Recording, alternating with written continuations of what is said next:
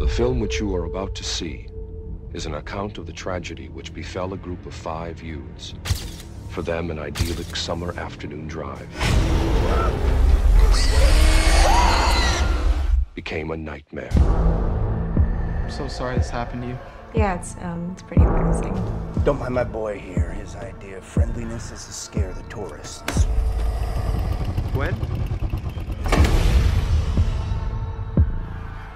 Can't you see that this messes me up?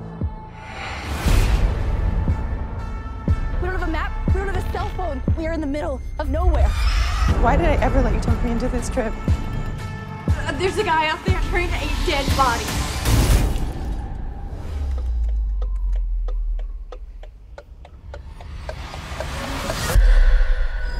He was wearing a face. A human face. I should have never come here. Gotta get out of here. Come on, you.